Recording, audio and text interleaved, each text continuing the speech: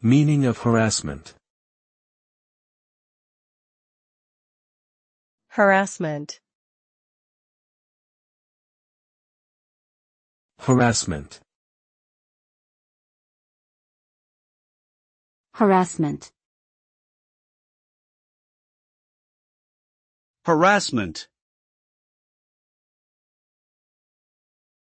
Harassment refers to behavior that is unwanted, unwelcome or offensive in nature and creates an intimidating, hostile or uncomfortable environment for the recipient. It often involves repeated, persistent or aggressive actions such as physical contact, insults, threats, or unwarranted attention.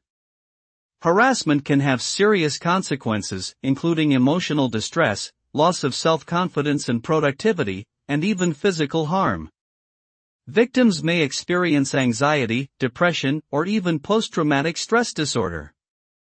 It is important to recognize and report harassment in order to create safe and respectful environments for everyone.